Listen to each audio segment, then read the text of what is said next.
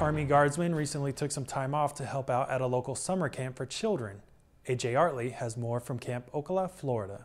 The theme for the camp today is True Hero Day, where the kids get to meet EMS workers and military members of the Florida National Guard. Come on, Eli, believe in yourself. The sergeants from the Guard may be giving these kids words of encouragement today, but they're not the only ones helping the kids overcome their fears this week.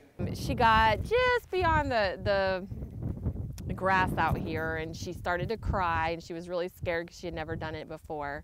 And I told her, I've never done it before either. So she came out and when I turned around and looked at her, she had a big grin on her face and she was so happy that she tried. Reporting from Camp Ocala, I'm AJ Artley for the Florida National Guard. Always ready, always there.